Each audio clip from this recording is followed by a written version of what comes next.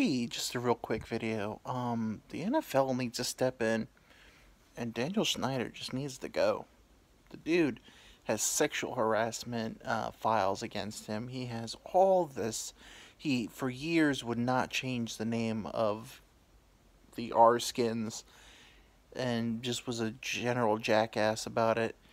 But now, the big news is he's hiding money from the NFL. The NFL will allow you to beat your wife, um, kill somebody, do all these nasty things. But the one thing the NFL will never put up with is you fucking with their money. If the NFL will get paid no matter what.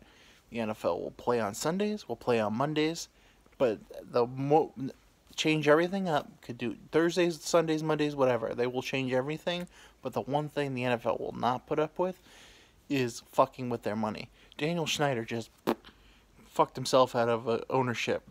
They're gonna kick him out. There's there's no way this dude keeps this team. All the sexual harassment things should have sunk him already, but this keeping the money, he's he's stealing. No, you know the share. He's keeping the pot.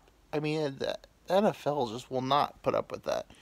Bye bye, Daniel Schneider, and I hope the uh, Commanders First off, dumb name.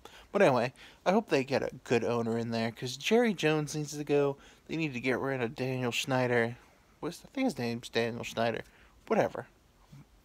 Bye bye. I don't even know need to know your name. Bye bye. Bye bye.